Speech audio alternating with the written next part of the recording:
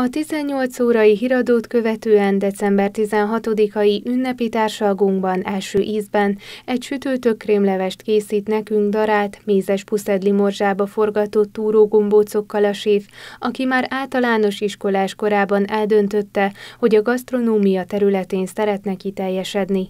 Érdemes lesz velünk tartani, ugyanis a fogások között egy békönbe tekert, pesztós csirkemusszal töltött pulykarolád is szerepel. A békön a szaftosítja is, ad neki egy külön ízt, mert kicsit füstös ízhatása van neki, és nem lesz annyira száraz a, se a pulykánk, se a csirkénk.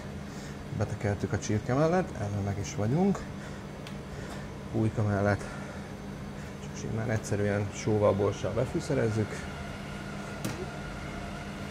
és elkészítjük a csirkemusszunkat, ami annyiból fog állni, hogy vagy ledaráljuk, vagy kutteroljuk a csirke mellett tejszínnel, fűszerekkel, és egy kis bazsalikommal, fenyőmaggal, ha már karácsony, akkor Adjuk meg a módját. Igen, így van. A főételhez tejszínes gombamártás párosul, valamint köretként hercegnő burgonyát tálalunk mellé. Mint kiderült, a séf hosszú éveken át dolgozott az Egyesült Királyságban, ahol a területi adottságoknak köszönhetően számos alkalommal szolgáltak alapanyagként a tengergyümölcsei. Tapasztalatai december 23-ai műsorunkban kamatoztatja majd, válogatásunkba ugyanis egy halétel is bekerült, de a megszokott ponty és harcsa helyett lazacsal fogunk dolgozni. Ahogy közben láttuk, felírdaltad, vagyis Igen, bevágtad. beírdaltam, megsóztam, borsoztam, nem csináltam vele semmi mást. Annyi, hogy ahogy megmelegedett közben az olajunk a serpenyőben, akkor bőrélvel lefelé szépen rátartunk, hogy ne ugorjon fel a lazacunk.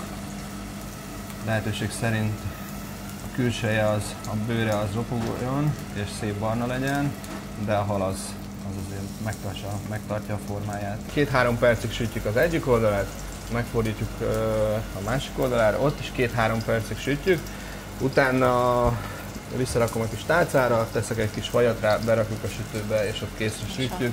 Egy olyan 10-12 perc alatt kész is lesz. A lazacték mellé zellerpürét, pisztáciás pestót és francia rakott burgonyát kínálunk. A gasztronómiai kalandozást pedig az édesszájúaknak kedvezve egy desszerttel, mégpedig egy gesztenyés sajtortával zárjuk.